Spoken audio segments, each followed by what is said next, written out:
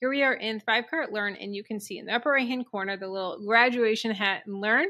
And we're going to create a new course. We're going to hit the green button that says create course, and you are going to name the course, course name, and then upload course logo.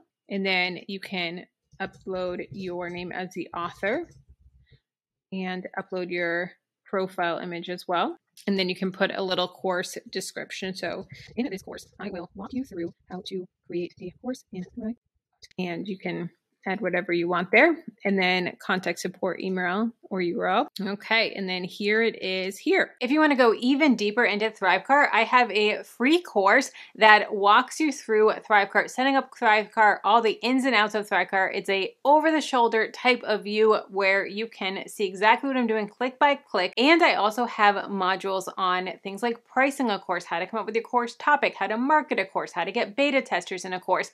It goes to the ins and outs of setting up a course, launching a course, and like I said, it is completely free, so definitely check it out down below in the description. The next step is to add lessons and modules in your course, and I'm gonna walk you through how to do that step by step in this video.